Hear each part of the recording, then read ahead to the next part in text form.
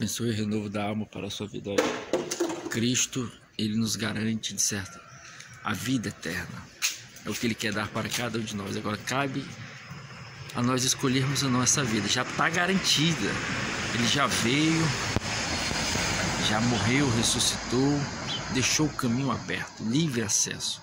Está lá no Evangelho de João, capítulo 3, verso 16. Ele diz: Olha, porque Deus amou o mundo de uma tal maneira que deu seu único filho, para que todo aquele que nele crê não pereça, mas tenha a vida eterna. Então, está franqueada a oportunidade. Cabe agora a mim e a você recebemos essa vida eterna de Cristo, porque essa aqui é passageira.